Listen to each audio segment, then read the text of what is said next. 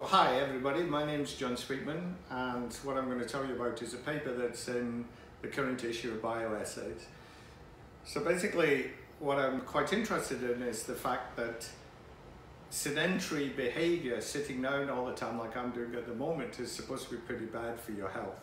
And yet we find it really attractive to do it. So given any opportunity that we can, not to exercise, we take that opportunity. So the question is, why do we do that if it's so unhealthy?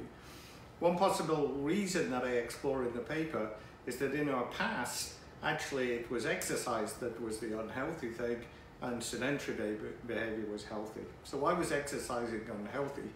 The reason that it would be unhealthy is not related to heart disease or anything like that, but it's related to the risk of predation, the chance of being bitten by a snake, the chance of getting an injury if you're chasing after an animal to kill it.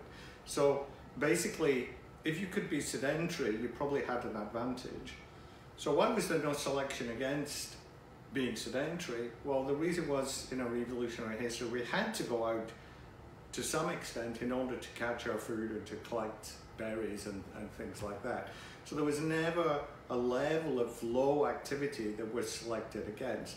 So when you put that system into modern society, we can actually uh, separate our physical activity from our eating and the consequence is that we can reduce our physical activity to really low levels that have never been selected against. And that's why we find being attractive really, uh, sorry, being sedentary really attractive, even though it's quite bad for us.